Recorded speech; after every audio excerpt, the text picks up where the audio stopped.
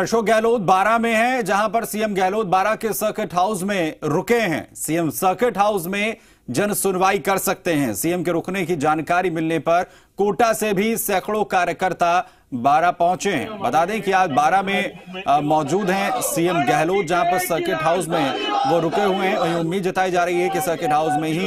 एक जन सुनवाई का जो कार्यक्रम है वो भी रखा यहां पर जा सकता है मुलाकात यहां पर सीएम की तरफ से तमाम लोगों के साथ की जा सकती है